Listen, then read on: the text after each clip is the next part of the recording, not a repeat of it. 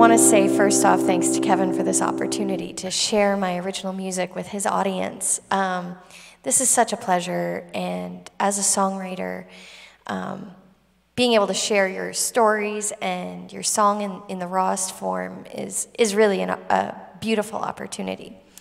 Um, I will mention before I play any of these songs, I have a great team of co writers um, on my album and in these songs. Um, so we've got my producer, John Angus MacDonald, as well as Stu Weinberg, uh, Colin MacDonald, and Chris Kirby. So um, I'll touch on some stories from making my album Monarch um, with those guys as I play the acoustic and piano uh, stripped down versions of these songs.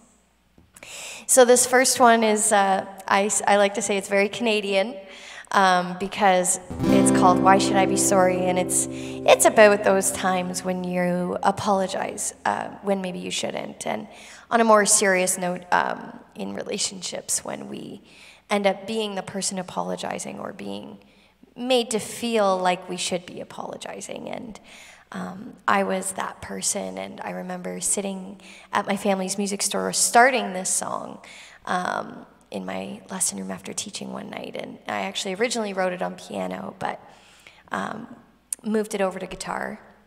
And then, uh, yeah, I had a, a, great group of writers on this song. So this song is called Why Should I Be Sorry? And it's track number 10 off my album.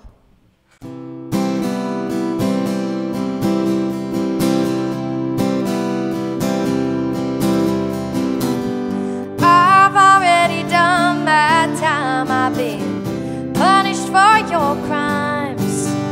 I don't owe you a damn thing. Was it love? Was it lust? Was it anything to do with us? How are you still buzzing after the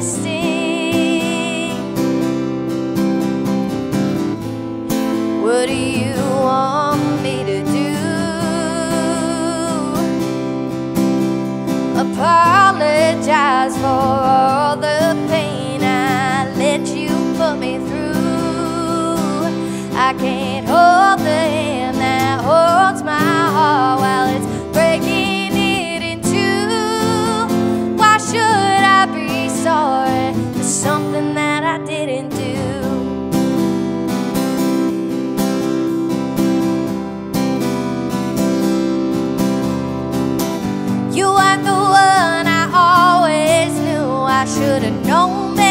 should have too.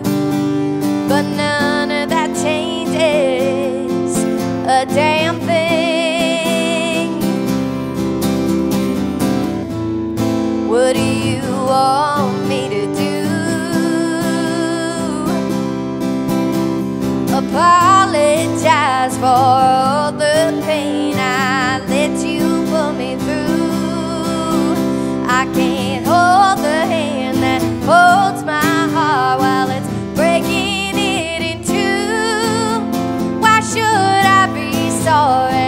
something that I didn't do?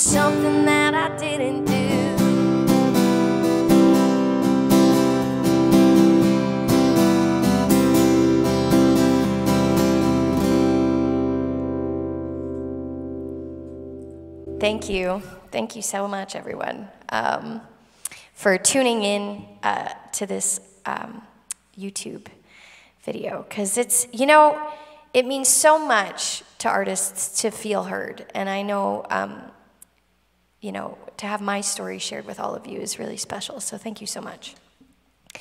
Um, this next song, uh, I wrote at a time. I started writing, a lot of these songs started with me, and then I brought them to the writing team. And this song I, I started writing, I was sitting in my dad's office with a big glass of wine, and, you know, kind of realizing I, I wasn't fully myself at that time. And I was learning more and more that um, I needed to make some choices that were going to serve my heart. Um, so from there, I took this song to the guys, and, and they were really um, positive and encouraging and, and gentle with this song. This one's a, a very vulnerable song. And I remember I was sitting on a Zoom call, uh, writing with Colin and Chris Kirby and John Angus, and uh, we were coming through the bridge, and the lyric was um, Lake, Lake Simcoe Music Row. So Lake Simcoe in Georgina and Music Row in Nashville. And at the time, I was really debating on uh, moving to Nashville, which um, obviously I didn't do. but I, I remember telling the guys, you know, Lake Simcoe Music Row, and I looked at them and I, I was like, same shit, different show. And the guys were like, yeah, that's the lyric. And I looked at them, I was like, I can't sing that. And they were, they were like, what do you mean? And I said, I can't say shit in a song. And, um, you know, the, the guys were perplexed but respectful. And, and, uh, and then I said, you know what? Like, let me call my dad. so I call my dad and I said, Dad, I, I, I wrote this lyric with the guys and I, I don't know if it's appropriate. And my dad's like, Well, what's the lyric? And I said, Well, you know, Lake Simcoe Music Row, same shit, different show. And he was like, Oh, that's fine. That's fine. So we kept that. We kept that in the record. Which I'm so glad because now my big girl pants are on and I say shit and fuck and whatever I want, whatever I feel. And I think that's really the beauty of songwriting and the liberty of growing up expressing yourself through music is that you can take those liberties and say, it was fucking hard. You know? This pandemic was fucking hard. And sometimes the swear word is the very appropriate word to use. There is no hiding or disguising or relanguaging what you're about to say just to be appropriate. This song's called All the Way to Nashville. I said, I don't feel like myself. You say, yeah, I can tell. I thought Music City calling me. Maybe it was just the Tennessee whiskey. I keep getting high, keep falling down.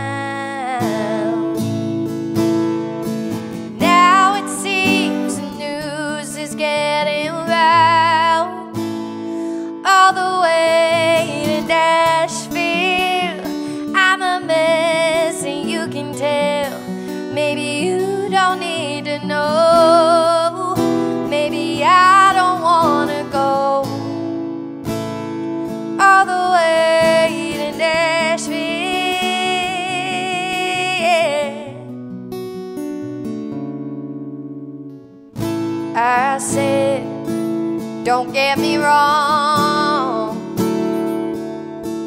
I've been trying to make it out of this town for so long. All I seem to do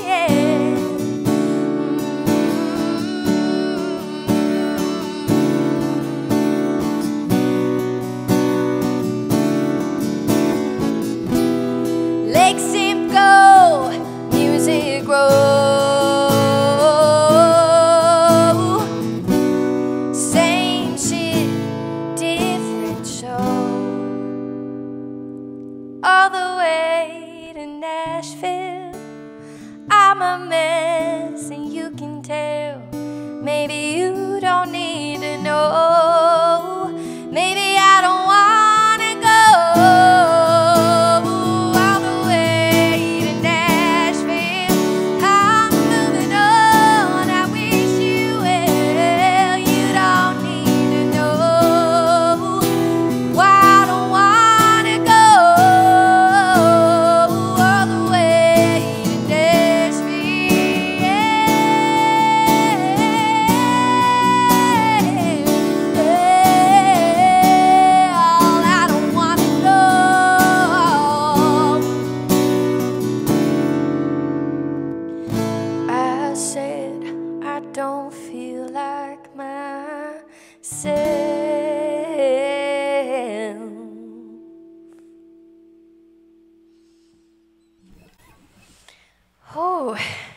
That song still hits me every time, you know, and that's a beautiful thing about singing songs that really mean something to you as an artist is it doesn't even have to mean, mean the same thing.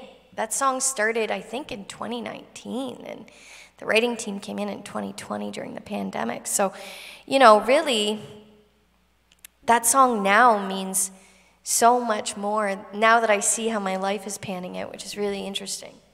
And just going to lose my guitar for a second here because this next song I'm going to play on piano for you. And this song, you know, the story of, of these songs, for me, song, not every artist talks like, you know, that every song is their self realization, but for me, I know, you know, I, I learn a lot about what I'm thinking and truly feeling when I write a song. That song told me, no, you got to stay in Georgina a little longer.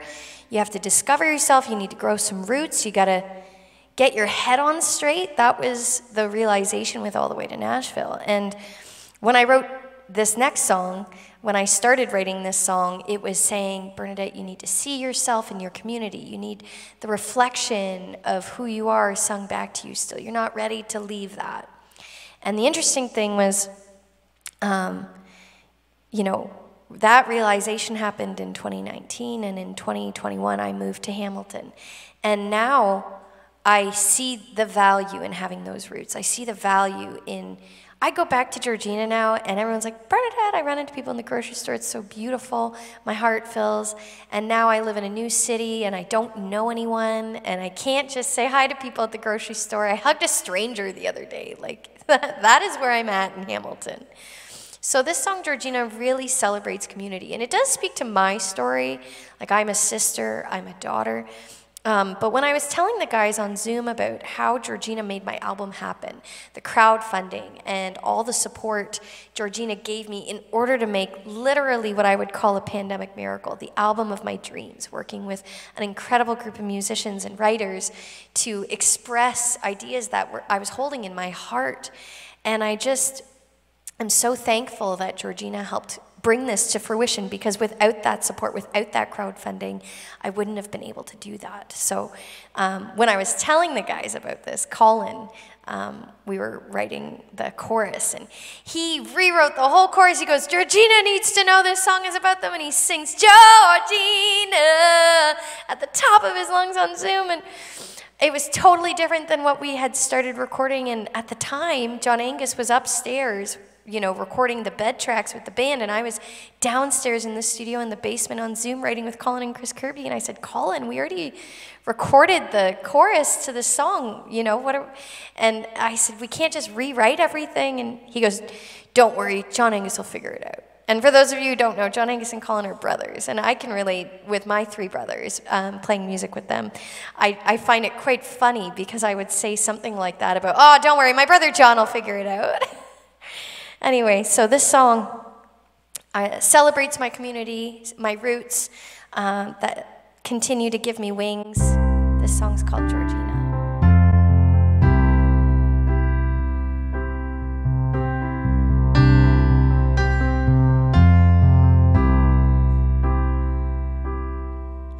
I'm a sister.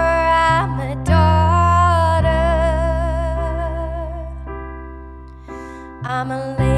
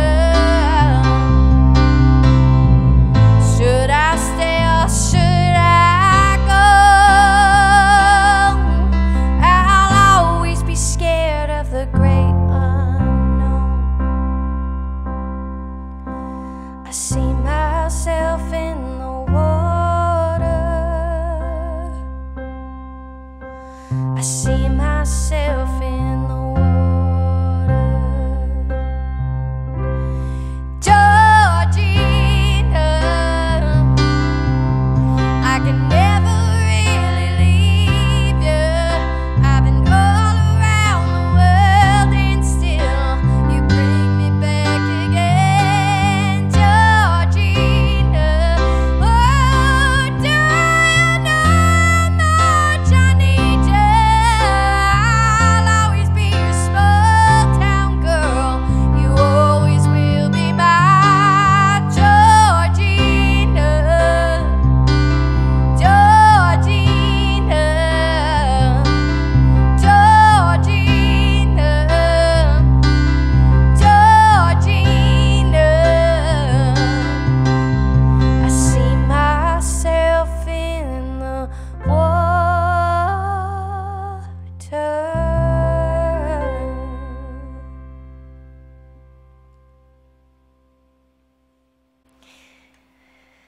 Yes, so Georgina holds a special place in my heart, for sure. And um,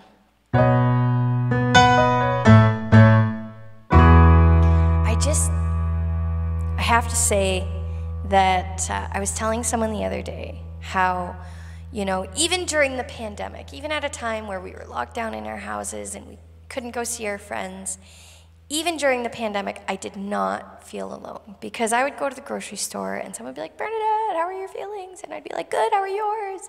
We had those check ins. Um, and I actually, if anything, felt more isolated moving to a new city where I didn't really know anyone. Um, and I go to the grocery store and and, and I don't know anyone. I have to like introduce myself to the cashiers and build relationships with people. And it's, um, it's interesting because I was, I was talking to a girl the other day and um, I had said to her, like, yeah, you know, it's like it it's little interactions with people that build trust you don't realize. Like Kevin Foster, like I've known him since my childhood. You used to, you know, play hockey with my brothers, and I used to play hockey with your sister. Fun fact: I used to play hockey. Anyone need a goalie?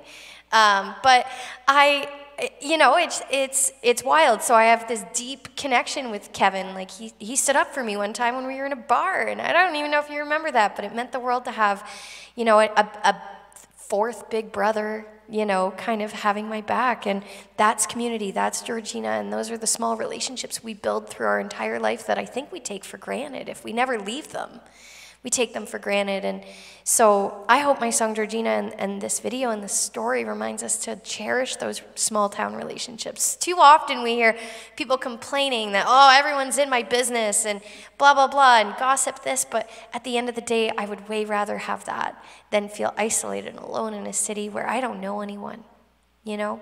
And I, and I have to use my outgoing, odd personality to, to make new friends. I carry dog treats in my pocket, you know. I've got like Dice the dog, you know, and, and Dice's owner, and Seamus's owner, and Dublin's owner. Like, I have a lot of dog friends in Hamilton. So, you know, and, and I know that those relationships will come, but it all takes time and it all takes patience and it all takes those small bids of trust that you can't, you can't, orchestrate that. It just takes time and experiences that build relationships. So I'm so thankful for the ones that I have and how during the pandemic I didn't feel as alone as I have some days in Hamilton. And that's okay. I've learned what that means now, and that's okay. So this song, John Angus and I started writing this nine weeks into the pandemic. And it's one of those songs for me, it's like a mirror, right? Where I sing it and it sounds like I'm singing it for you, you know? It's like, you gotta. But really, we all know when we say you gotta, there's an I gotta in there, right? So this song's called Make It Through, and I'm so glad, I'm so thankful in 2022, knock on wood, that it feels like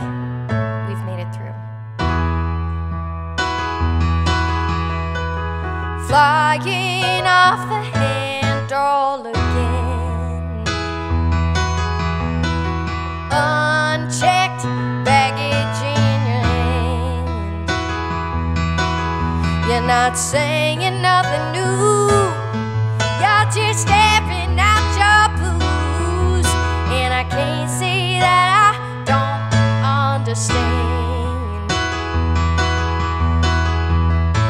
You may wrong, you may be right, but it ain't worth another fight. It's up too high, you just might fall on your sword and wonder why. Who is it standing in your way? Looking back at you, saying all the things you say, yeah. These are hard times,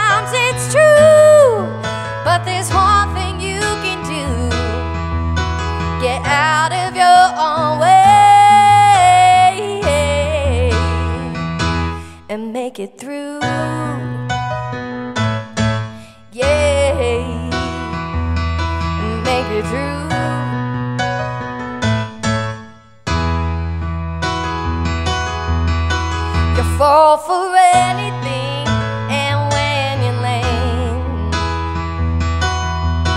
you get your back up without a leg to stand.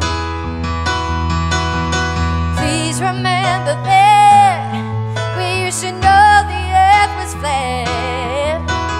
Careful with the things you don't understand. Sometimes singing choir, sometimes you're fighting fire with fire Tightrope walking on a live wire. It's getting old, you're getting tired. Who is it standing in your way? Looking back at you, saying all the things you say. These are hard times, it's true,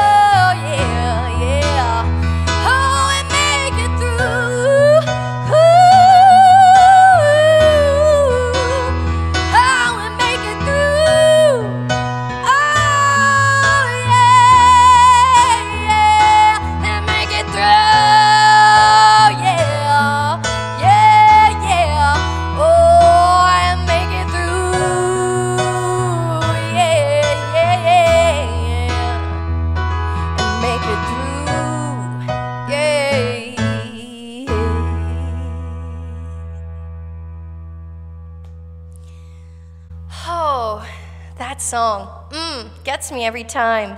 Uh, brings me back to that place of writing my first songwriting session on Zoom. How wild was that?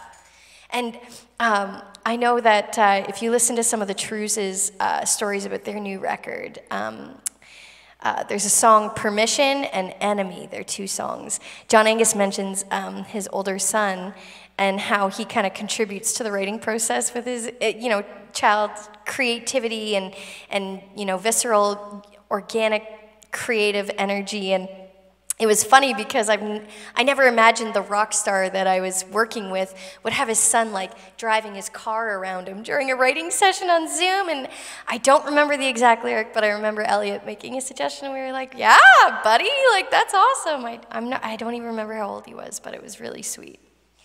I'm gonna grab my guitar for this last song. So before I play this last song, I just need to say another big thank you to Kevin for having me. Um, this is a big reminder for me to cherish those long-time friendships, those childhood relationships that you never know where they're going to grow. Um, so thank you so much for having me.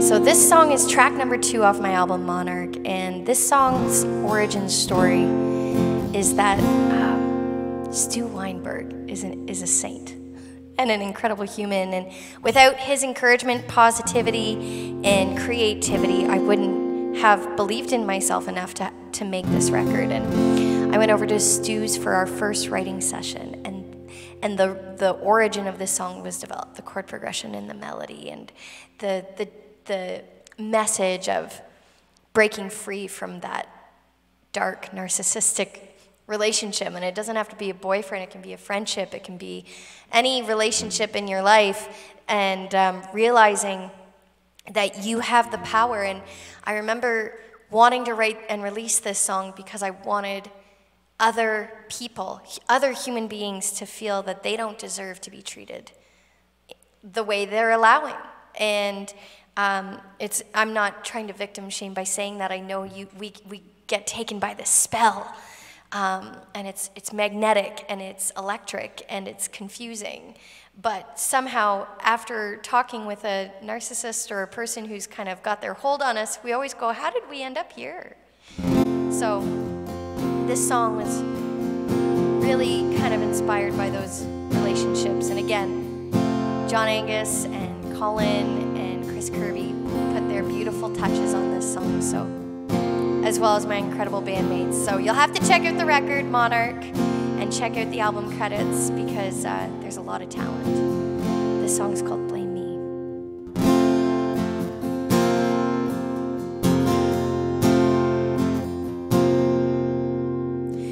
Don't tell me about your problems, I can't fix them anyway. Don't ask me if you don't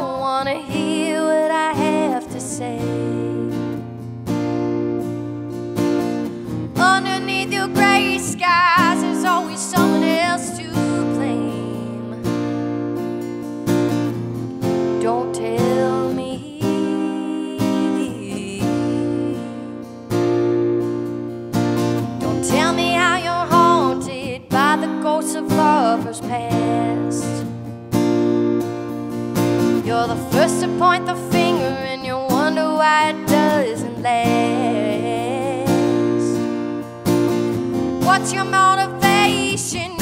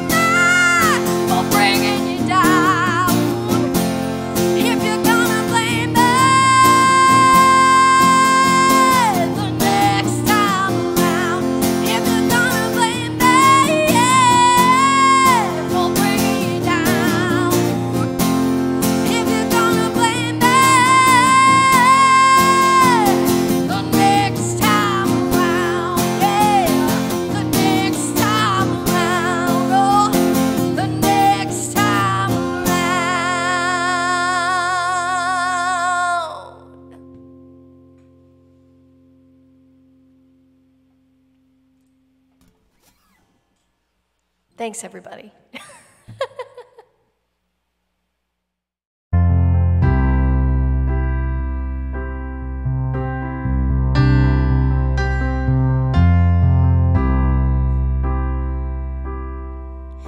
I'm a sister, I'm a